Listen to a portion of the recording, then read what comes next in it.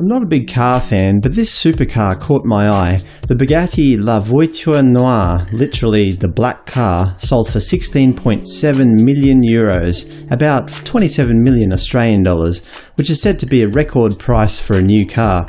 Only one was produced, and the buyer remains anonymous. The car comes with a huge 1500 horsepower, 16 cylinder, 8 litre engine encased within a sleek jet black carbon fibre body.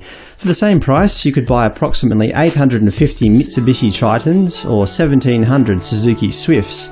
Or, if you're into overpriced property, you could buy about 25 average priced houses in Sydney.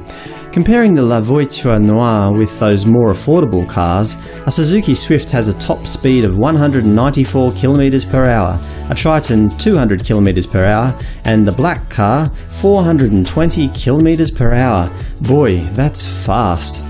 In terms of acceleration, from 0 to 100 km per hour, the Suzuki takes 7.8 seconds, the Triton 10.55 seconds, and the black car 2.4 seconds.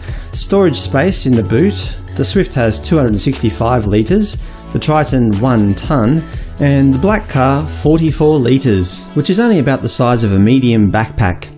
And lastly, fuel consumption in litres per 100 kilometres.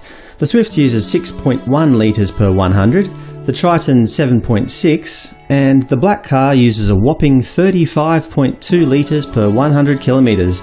Man, in Australia you'd be just driving between petrol stations filling it up all the time. The La Voiture Noire was produced to celebrate the 110th anniversary of Bugatti. In their own words, a pioneering spirit, passion for perfection, and the desire to continually redefine its limits have been the key characteristics of Bugatti since it was founded 110 years ago.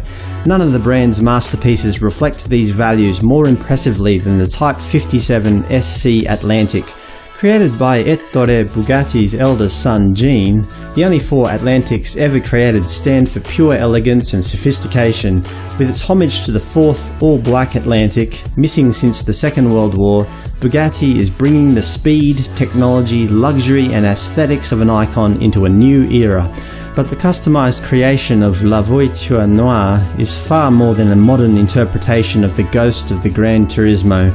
La Voiture Noire is a tribute to Bugatti's own history, a manifesto of the Bugatti aesthetic, and a piece of automotive haute couture. So which do you prefer? An overpriced La Voiture Noire or 25 overpriced Sydney houses?